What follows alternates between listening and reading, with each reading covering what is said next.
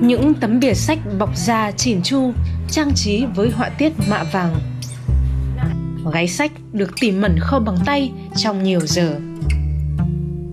Người thợ trẻ Trần Trung Hiếu đóng sách và sổ ghi chú hoàn toàn bằng tay, tuyệt đối tuân thủ các kỹ thuật cổ điển. Từ đam mê đến tự học, đến nay Hiếu đã tích lũy nhiều kinh nghiệm đóng sách và bắt đầu thử nghiệm những thiết kế hiện đại vẫn với các chất liệu và công cụ truyền thống. Sách công nghiệp. Ừ, chi phí sản xuất nó sẽ rất là rẻ và có thể nhiều người tiếp cận hơn với sách. Nhưng mà để mà giữ một cuốn sách để trong một thời gian dài ví dụ kiểu hơn 100 năm ấy thì chỉ có đóng sách bằng tay mới có khả năng bảo vệ cuốn sách như thế. Từ cấu trúc này đến cách làm này vật liệu bọc đều sử dụng vật liệu chất lượng cao. Thế nên là sách đóng bằng tay nó rất là bền và phục chế lại được. Kỹ thuật đóng sách thủ công cổ điển đòi hỏi rất nhiều thời gian và hàng loạt dụng cụ.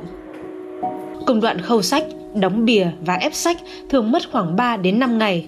Đối với những cuốn phức tạp hơn, cả quá trình đóng sách có thể kéo dài 1 đến 2 tháng.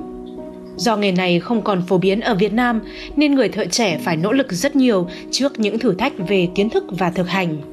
Mình đã mất khoảng phải từ 2 đến 3 năm để mình bắt đầu hiểu được các thứ cơ bản thì mình mới bắt đầu làm nghề được. Chứ còn cái những kỹ thuật nâng cao thì chắc chắn là phải học rất là lâu không nói là đến cả đời.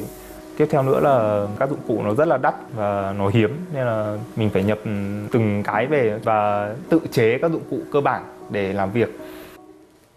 Các nhà xuất bản và những người đam mê sách ngày càng quan tâm đến sách thủ công và đã tin tưởng giao cho Hiếu những dự án đặc biệt.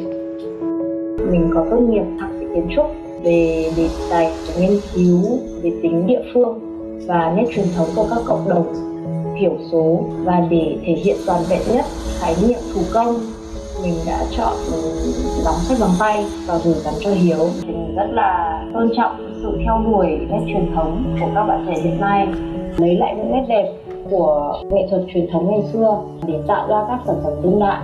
Cái nghề đóng sách thì đã từ một cái ngành công nghiệp trở thành một môn nghệ thuật. Đối với mình thì nghề đóng sách mình được sáng tác này mình được học hỏi và mình được uh, lao động chân tay. Các công đoạn đóng sách đối với mình nhiều khi nó như là liệu pháp tâm hồn của riêng mình.